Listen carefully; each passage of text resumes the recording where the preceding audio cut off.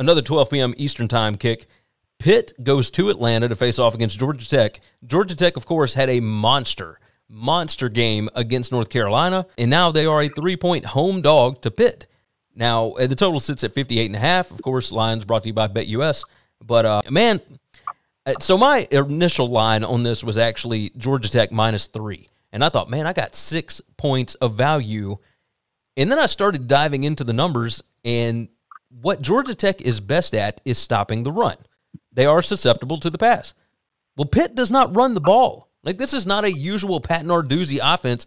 Um, I don't know. I, Pitt on the road is always really, really good. I think they're like eight and three against the spread in their last eleven on the road. Like Pitt always does well under Narduzzi, and man, Kenny Pickett, like he's been around forever. He has seen this Georgia Tech team from the time that they were triple option all the way up till now. Like uh, he knows what this team is.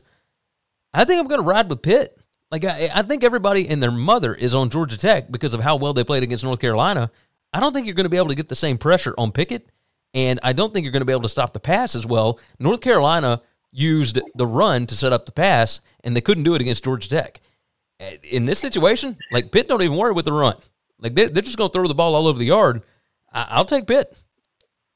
Yeah, this is this is the right answer. By the way, you take when somebody has done something that you just cannot believe really happened, okay, the week before, you bet against that the following week.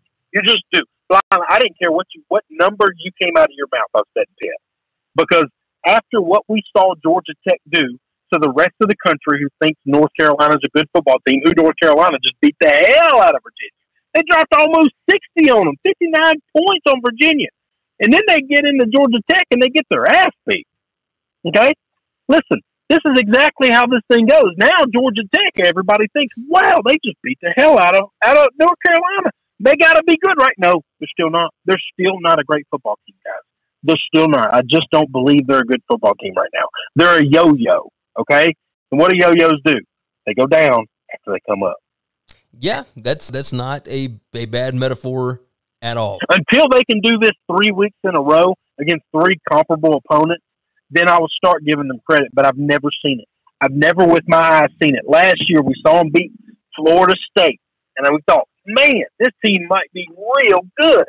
And then we realized Florida State might be one of the worst teams in the country. They were ranked in the 90s about everything. Okay, and and and then Georgia Tech was exactly who we thought they were. Not very good at football. Yeah. Well, there's a world where North Carolina finishes with four or five balls.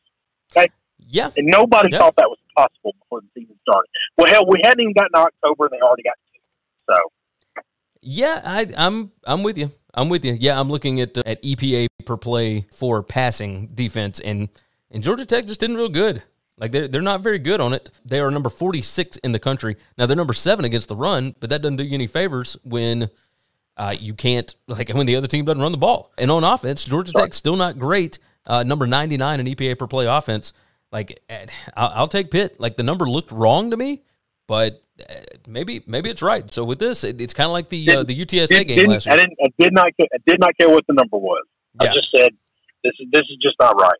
This no, one. I, I saw this one team play so much above their level of football, and that's fine. They got up for that game, and that's awesome. Congratulations to them. Show me you can do it two weeks in a row. You can take my money. I'll lose. That's fine. Thanks for listening to the Winning Cures Everything podcast. The website is winningcureseverything.com, and if you want to connect with us, we're on Twitter at Gary WCE, at Chris B. Giannini, at Winning Cures, or you can email us, Gary at winningcureseverything.com or Chris at winningcureseverything.com. Subscribe everywhere you need to subscribe, and we'll see you soon.